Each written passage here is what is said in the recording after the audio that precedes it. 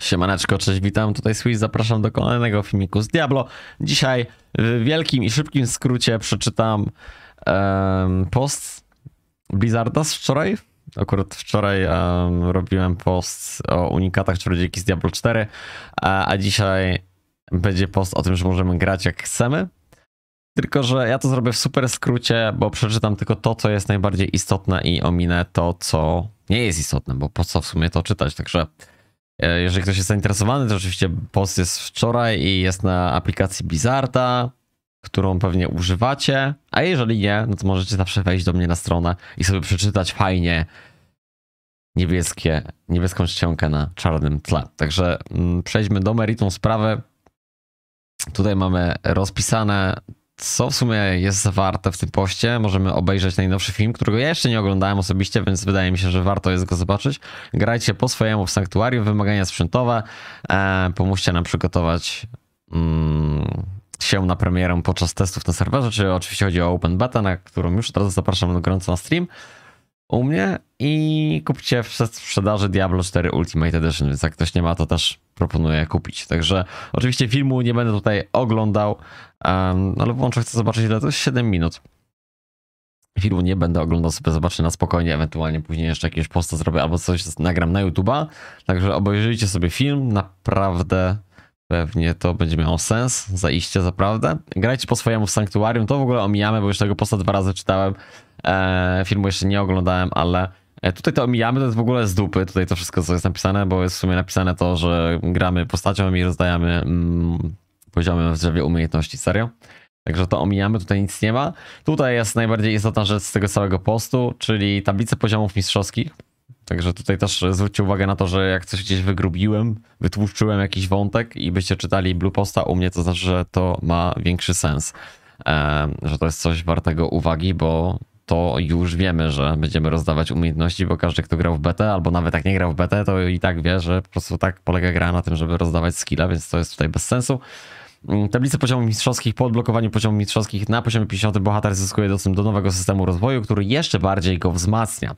Kontynuując wędrówkę do poziomu, wędrówkę do poziomu ostatniego, postać będzie zdobywać punkty mistrzostwa. Także tak, to jak najbardziej nas interesuje. Dzięki nim można odblokować nowe węzły, dodatkowe tablice poziomów mistrzowskich, a także glify z podziemi koszmarów, które wzmacniają węzły na danej tablicy. Jeżeli w tym filmie będzie coś zawartego, fajnego, adnotacja do glifów, to ja spróbuję może nawet dzisiaj zrobić jeszcze jakiś filmik na jutro, żebyście sobie mogli zobaczyć. A to tyle w kwestii glifów. Oczywiście wszyscy jesteśmy e, podekscytowani tym, tą nową umiejętnością e, paragonów, że one wreszcie nie są z dupy, tylko te paragony mają sens, ręce i nogi i e, dzięki temu Diablo 4 e, stało się bardzo rozbudowaną grą, a nie typu dodaj 5 punktów do inteligencji albo 5 punktów do, do siły, które tam nie miało żadnego znaczenia i było bardzo, bardzo nudne i smutne. Także to jest zajebiste. Natomiast tutaj nie ma więcej informacji. Jak coś wynajdę, znajdę, to dam znać.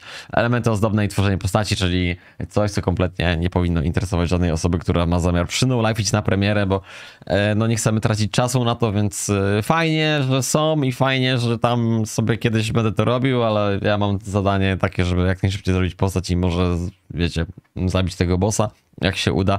E, gdzieś na Reddicie przeczytałem jakiś wątek, że to będzie minimum 150 godzin i ktoś kręcił bekę, że No Life zrobią to w 4 dni, nie? No, 150 godzin, 4 dni. Elo. Dobra, także nie będziemy czytali. Elementy ozdobne i tworzenie postaci, bo nam to nie jest potrzebne. Wyposażenie e, to możemy przeczytać. Tutaj też widzicie, wygrubiłem, wytłuściłem. Przedmioty legendarne to potężne przedmioty, które wzmacniają lub zmieniają działanie waszych umiejętności, a także zapewniają bohaterowi inne przydatne premie.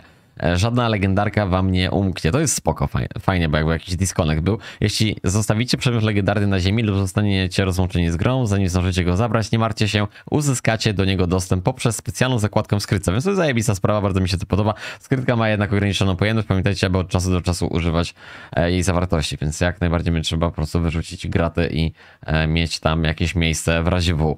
E, przedmioty unikalne, te wyjątkowe elementy wyposażenia są dużo cenniejsze niż przedmioty legendarne. Przedmioty unikalne są bardziej e, po prostu wypasiaste niż legendarne. Zapewniają zapewnianych przez, przez nie premii nie można przenieść z jednego przedmiotu na inny, także nie będzie można przerzucać sobie e, tych e, premii. E, wydobywając jego moc. Więcej informacji na ten temat poniżej. No już każdy, kto grał w betę albo kto nie grał w to w betę, to wie o co chodzi. Przedmioty legendarne jak wypadają, to można sobie przerzu- przerzucać te premie, przekuwać, a w unikalnych nie można tego robić. I generalnie będziemy się starali, żeby cała nasza postać była ubrana w przedmioty unikalne i mm, prastare, o których tutaj w ogóle nie zaspoilerowali i nie powiedzieli.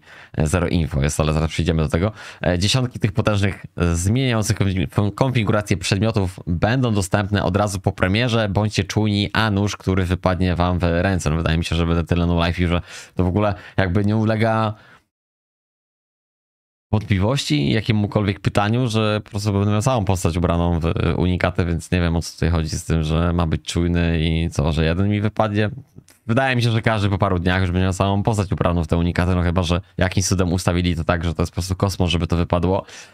I to by było dobrze zrobione, bo wtedy by to oznaczało, żeby trzeba było grać miesiąc albo dwa, żeby w ogóle tego bossa tam zabić i wtedy by był jakiś cel dla każdego gracza, że faktycznie musi grać bardzo długo, żeby zabić tego bossa na jakimś sezonie. Ale zobaczymy jak to będzie. Nie chcę się bardziej wywodzić, żeby tego nie przedłużać, bo nie ma sensu. Wiecie o co chodzi. Przedmioty unikalne można uzyskać wyłącznie w rangach Świata Koszmar i Udręka, więc oczywiście każdy ciśnie na Udręka. Już wszystko wcześniej wyjaśniłem, na czym polega Endgame w filmiku z wczoraj, więc sobie można zobaczyć. W sumie to tutaj mógłbym to dodać gdzieś. Wrzucę jak coś, bo mm, jak będziecie oglądać filmik, to e, i wejdziecie na posta na stronę, to tutaj, tutaj zrobię e, guide, wrzucę z wczoraj. Na czym polega Endgame. W Diablo 4 znalazły się również skarby z minionej ery, przedmioty unikalne z poprzednich gier serii, takie jak Siła Wiatru, wiatru także będziemy Windforce'a, oczywiście Shaco, Chaco mamy e, wszystko oczywiście kompletnie inaczej e, będzie funkcjonowało, aczkolwiek bardzo mi się podoba to, że te nazwy zostały, to jest dla mnie to jest super, bo chciałbym znaleźć Oculusa i zobaczyć co daje na przykład e, i bym był zajarany, że też możemy znaleźć Oculusa, znaleźć możemy Windforce'a, znaleźć możemy Chaco, bo Chaco to jest przecież mega, przecież rozpierdol, przecież 4 do poziomu, e, 40 poziomów to 60 do poziomu, nie? Damy 40 skilli po jednym, to przecież masakra. E, dobrze, także e, premie do rangi umiejętności. Większość typów przedmiotów może zawierać premię wzmacniającą e, konkretne umiejętności, gdy przedmiot jest w użyciu.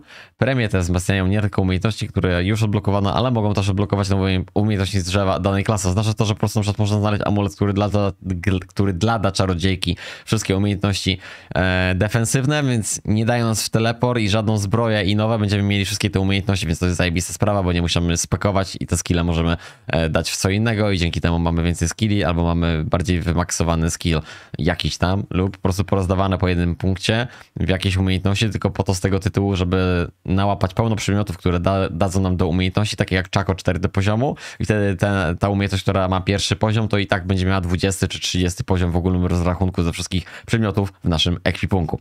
Dzięki temu możecie wypróbować niektóre umiejętności, zanim postanowicie w nie zainwestować. To akurat tam jest z dupy zdanie, bo przecież możemy sobie pierdolnąć skilla i go zrespekować, bo wystarczy prawym przyciskiem myszy wcisnąć i będzie to kosztowało śmieszną ilość złota nawet na już maksymalnym poziomie. Premie tego typu mogą zwiększyć rangę umiejętności powyżej 5, zapewniając solidne wzmocnienie. Da. No okej, okay, whatever. Oczywiście tak to, co powiedziałem, że te premie będą zajebiście wymaksowane, jeżeli będziemy mieli już tam 20-30 do poziomu, to te premie będą się dobrze skalować, bo tam wiecie, że tam będziemy mieli coś na szóstym poziomie, a coś na piątym, to, to nie jest wow. To wow to będzie jak będzie coś na 30. Ale dobra, wiecie o co chodzi? Pozyskiwanie legendarnych premii macie w posiadaniu przedmiot legendarny ze świętą premią, lecz jego pozostałe współczynniki są zbyt słabe. Możecie wydobyć z przedmiotu legendarnego moc i umieścić ją w innych przedmiotach. W ten sposób można dostosować przedmioty do konkretnej konfiguracji i mieć pod ręką ulubione premie. Ja bym to chciał sprostować, bo tak naprawdę każdy będzie miał wyjebane po poziomie 70, bo każdy szuka tylko unikalnych przedmiotów i e, chciałem powiedzieć primal, e, prastarych, mm, a tutaj to się nazywa pradawnych przodków. Przodków będą. Także przedmioty przodków, więc to generalnie tak, to ma sens do poziomu 70, ale jak już będziemy mieli 70, to każdy będzie miał wyjebane na przedmioty legendarne, bo generalnie przedmioty legendarne to jest po prostu no szajs. Eee, to jest taki, takie coś, tylko żeby nosimy to dopóki dopóty nie trafimy konkretnego przedmiotu, a konkretne przedmioty to tak naprawdę będziemy, to co też ostatnio tłumaczyłem, E, musimy zdobyć poziom setnej postaci, żeby mieć szansę na to, że będą nam wypadały przedmioty setne i przedmioty unikalne setne. Chcemy mieć całą postać ubraną w takie przedmioty lub w te przodków, czy tam primale, jak chcecie zwać, e, które będą jeszcze bardziej potężne niż unikalne, więc będzie szansa będzie, żeby to wypadło totalnie z dupy, jakaś niska, do czego zmierzam. E, I wtedy i tylko wtedy będziemy mogli tego bossa trzasnąć. Tak Blizzard to um, ujął, że po prostu musimy mieć najlepszy e, gear, więc e, legendarne przedmioty to nic innego jak tylko zapychacze postaci, żeby dojść do punktu poziomu 100, a potem jak będziemy mieli setny, to fokus na ostry grind, ostre nakurwianie, tylko po to, żeby cała postać była zapchana najlepszym sprzętem, jaki jest w grze, a nie przedmiotami legendarnymi. Także przedmioty legendarne w ogóle do rachunku będą chujnią, jeżeli chodzi o przedmioty unikalne i e, prastare. Mm, Dobra, także teraz mamy tworzenie przedmiotów Diablo 4, kładziemy nacisk na modyfikację przedmiotów. Chcemy, by gracze znajdowali podczas swoich wędrówek przedmioty i analizowali zawarty w nich potencjał. Możecie ponownie losować premię, jad i ja i tutaj też jest taka trochę chujnia, bo to jest w sumie wszystko to samo, jakby wytłumaczone tak typowo dla e, ludzi, którzy kompletnie nie mają żadnej styczności ani z betą, ani nie wiem, wczoraj wyszli spod jakiegoś kamienia i, i czytają i, i, i w sumie czytając to będą dalej w błędzie, bo to też ja to sprostuję.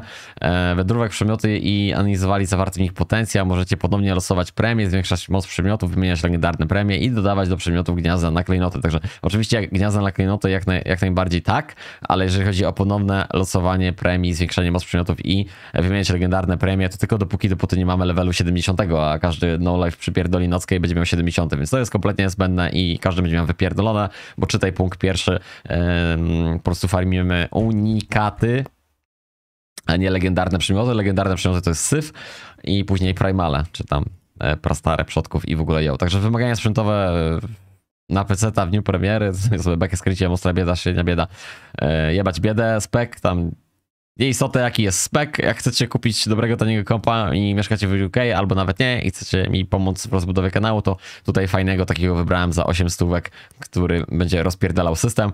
Em, Ten komputer ogólnie ma lepszy spek niż mój, którego kupiłem 4 lata temu. Ja mam GTX-a Tytana 1080 i wszystko chodzi igła na 60 P, także sprawdzałem ostatnio na full detalach na 1980, a ten komputer jest lepszy od komputera, który używam, więc jak sobie kupicie takiego kompa, to RTX 3050, Intel i piątka, to będzie wam chodziło wszystko. Pizda anioła i możecie no life a nie tam jakieś kurwa mm, wymagania, nie wiem co to w ogóle jest, po chuj to w ogóle pisać, E, dlatego napisałem ostra bieda, że low wymagania i, i średnie wymagania.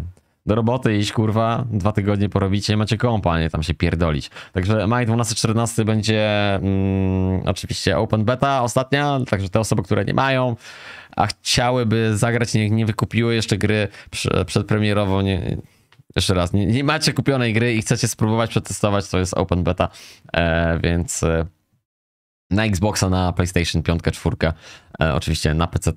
Um, I wydaje mi się, że zrobię stream i wydaje mi się, że będę siedział, żeby przetestować moje możliwości psychiczne i fizyczne, jak długo będę mógł grać. E, oczywiście bez żadnych dopalaczy normalnie, więc jak że tak powiem, będę zmęczony, wyjebie mnie z butów, to pójdę spać. E, to jest 12 maja, więc, a więc e, to jest piątek. No to zrobię tak, że przyjdę po pracy w piątek.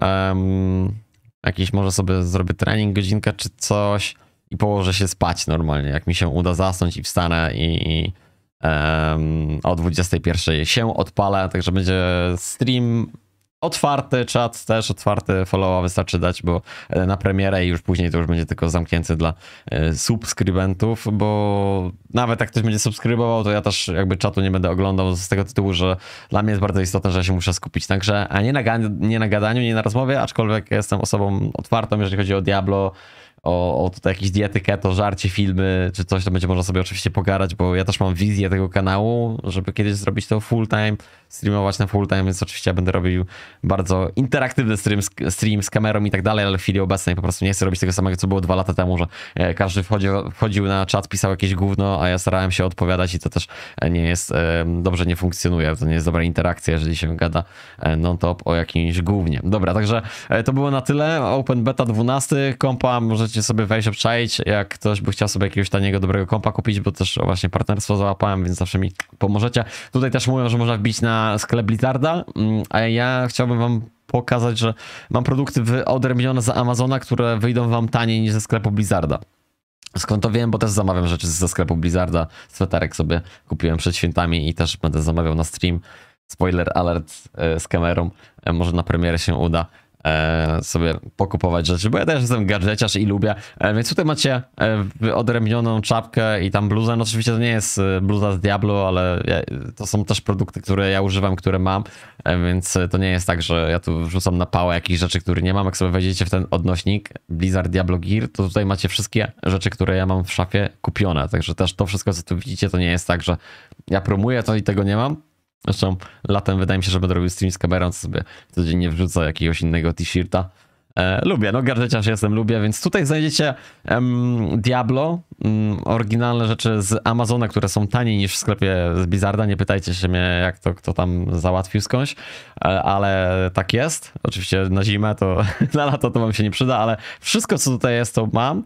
Kupiłem sobie dwa lata temu właśnie jak streamowałem Diablo 2 i takie macie Diablo podobne motywy, bardzo mi się e, podobały e, te motywy, to wybrałem te koszulki e, i wydaje mi się, że też dużo osób pewnie chciałoby sobie kupić taką koszulkę, więc zapraszam, sobie możecie wejść w linka i zakupić po prostu bezpośrednio z Amazona, a ja tam jakiegoś grosza z tego powinienem dostać chyba. Nie wiem, chyba, że Amazon nic nie da. Także to było na tyle. Dzięki za uwagę, do zobaczenia, do zapraszam na kolejne filmiki z Diablo i pamiętajcie, żeby jebać biedę jest jedna rzecz, dla której warto żyć. Diablo i nie zmienia się nic. Także, także to by było na tyle.